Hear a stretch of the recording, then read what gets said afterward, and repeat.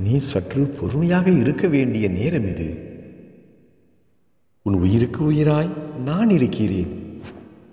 நீ படும் வேதனையையும் நீ எதிர்கொள்ளும் போராட்டத்தையும் ஒரு முடிவிற்கு கொண்டு வரவே நான் உன் விதியுடன் போராடி கொண்டு இருக்கிறேன்.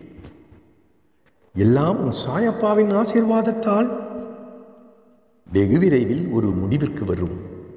இது உறுதி. என்னை நம்பு. நீ எதற்கும் கலங்காதே. இப்போது உன்னை சுற்றியுள்ள துன்பம் நிரந்தரமல்ல. நாளைக்கே மாறும். நீ வேண்டியதையெல்லாம் பெற்று வளமோடு வாழப்போகிறாய் இது உறுதி. சாய் பாபா இருக்க பயம் எதற்கு? கவலை எதற்கு? பாபா சரணம். ஓம் சாய்ரா